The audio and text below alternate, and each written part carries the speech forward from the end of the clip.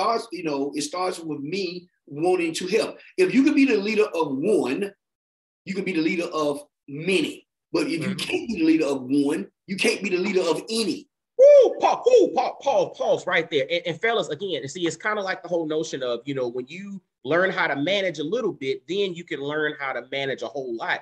If you can be the leader of one, you can be the leader of many. But the problem for a lot of us is we bypass being the leader of one. And the one that we're talking about is the one we're seeing in the mirror.